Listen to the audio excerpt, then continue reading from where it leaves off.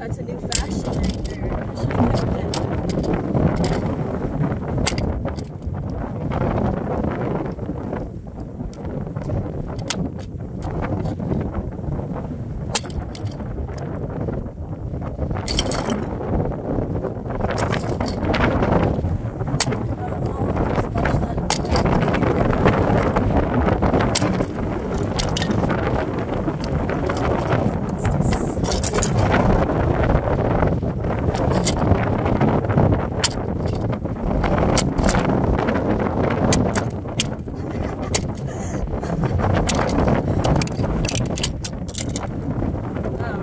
just throwing it around.